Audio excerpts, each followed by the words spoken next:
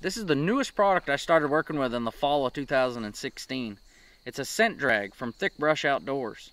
It's the only scent drag I've ever used that constantly refreshes my wicks.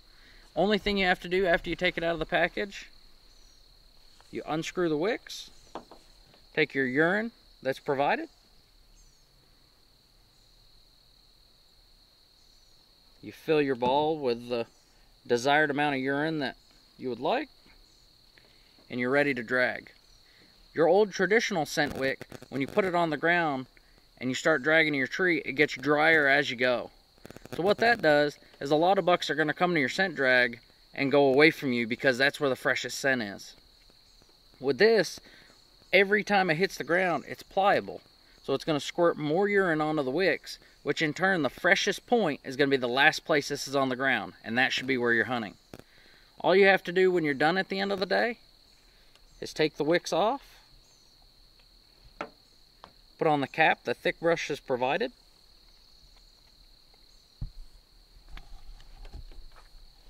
and squirt your urine back into your bottle.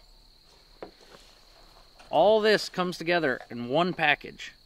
You have your ball, the urine, and the replaceable cap for $19.95. That's all it costs. It's very affordable and it will give you an advantage in the woods.